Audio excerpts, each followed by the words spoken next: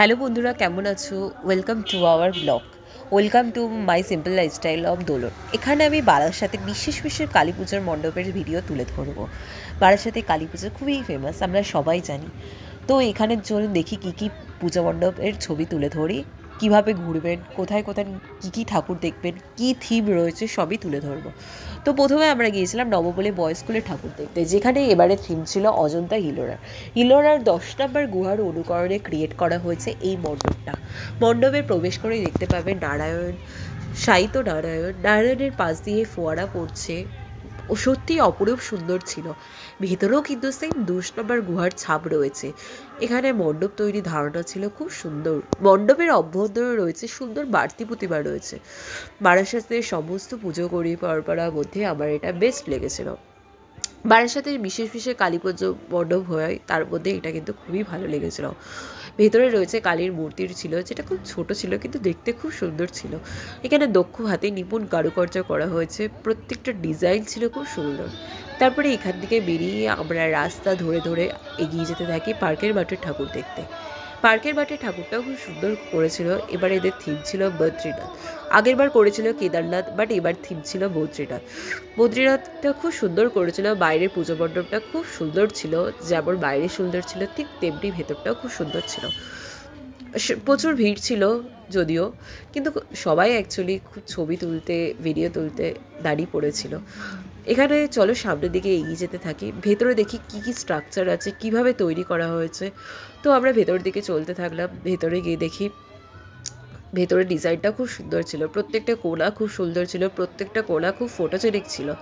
ভেতরে দেখলাম যে একটা বড় ঝাড়বাতি রয়েছে, যেটা আমার পার্সোনালি খুব পছন্দ হয়েছিল।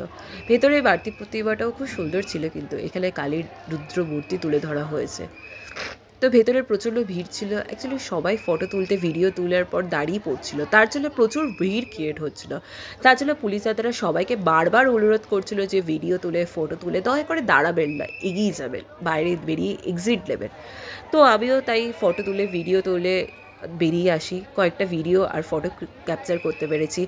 এই মণ্ডপে যে যে ভিডিও ফটোগুলো তুলেছি, সবই আপনাদের সামনে তুলে ধরছি, যাতে আমার আমার মাধ্যমে আপনারা এই পুজো মণ্ডপটা ঘুরতে পারেন। যারা বারাসাত এসে পুজো মণ্ডপটা দেখতে পাচ্ছিল, তারা নিশ্চয়ই আমার এই ভিডিও থেকে উপকৃত হবেন। একটা আন্দাজ পাবেন যে কী কী, কীভাবে পুজো মণ্ডপটা করা হচ্ছে, কী কী। বাড়িতে বসে দেখতে খুবই ভালো লাগবে আপনাদের।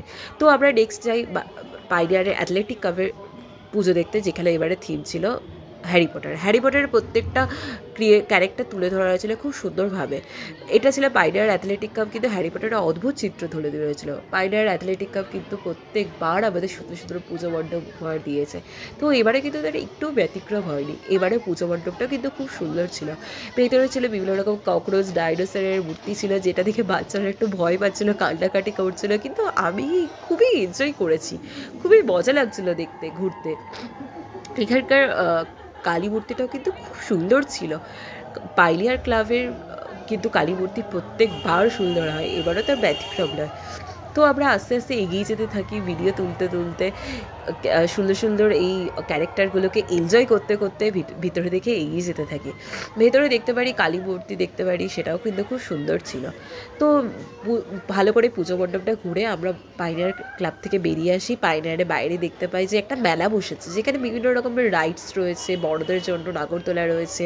কিন্তু আমি চড়িনি সাধারণত। আমি একটু নাগরদোলা চড়তে ভয়ও পাই। তাছাড়া আমার সেদিন একটু টাইমও ছিল না। সব পুজো মণ্ডপগুলো তো ঘুরতে হবে, তার জন্য আর সময় হয়নি। তো বাইরে একটা ফুচকা খেয়ে ভালো করে মেলাটা ঘুরে এদিক ওদিক, তারপরে আমরা এক্সিট নিই পুজো মণ্ডপ থেকে। তো এটা ছিল পাইনিয়ার অ্যাথলেটিক ক্লাবের ঠাকুর, তো আপনারা কীভাবে আসবেন, যারা ট্রেনে আসবেন, তারা কিন্তু ওই প্ল্যাটফর্ম থেকে, পাঁচ নম্বর প্ল্যাটফর্ম থেকে হাঁটা পথে এটা পেয়ে যাবেন। আর নেক্সট পুজো হোপিং ছিল এটা আমার রেজিমেন্টের ঠাকুর, যেটা ছিল হেলাবরতলা, বারাসাত হেলাবরতলার একদমই কাছে। এখানে এবার থিম ছিল বাহুবলীর বৃহস্পতি মন্দির ছিল। মণ্ডপের ভেতরে রয়েছে অপূর্ব সুন্দর থিমের কাজ রয়েছে, সুন্দর মাতৃ প্রতিমা রয়েছে। মণ্ডপের ভেতরে কালীর বিভিন্ন সুন্দর রূপ ফুটে তোলা, হয়েছে। এটা ছিল একটু রাতের দিকে ছিল বাট ভিড় কিন্তু একটু কম ছিল না। তো এটাই ছিল আবার থার্ড পুজো হোপি যদি আপনাদের এই ভিডিওটাকে ভালো লাগে আর এইরকম যদি ভিডিও ভালো লাগে, তাহলে চ্যানেলটাকে সাবস্ক্রাইব করবেন আর ভিডিওটাকে লাইক করবেন। আর যদি কোনো কালী পুজোর ব্যান্ডেল হোপিং করি, তাহলে অবশ্যই আপনাদের নেক্সট ভিডিওতে এইসব শেয়ার করব। তো আজকে জন্য টাটা বাই বাই আপনারা এনজয় করুন ভিডিওটা